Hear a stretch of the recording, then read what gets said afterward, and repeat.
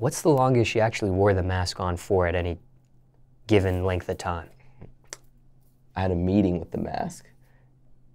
That was probably the longest. It was maybe like an hour, I'd say. And were people taking you seriously in this meeting with the mask on? Yeah. Did they want you to take it off? Did they want you to reveal yourself just to for meeting purposes? Nah. Now, okay, uh, I know you enjoyed the reaction, you liked it. Um, on the opposite end of the spectrum of a pet peeve, what did you enjoy the most about having the mask?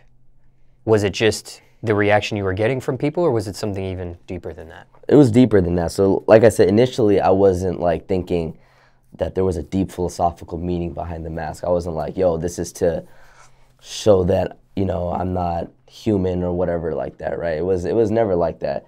But over the course of time, the way that people recepted towards it and you know they received and looked at the mask, they were like to them it felt like I was a superhero.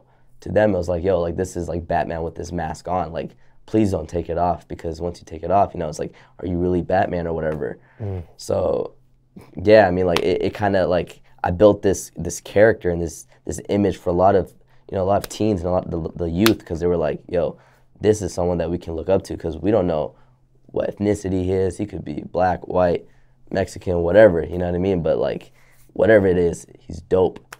So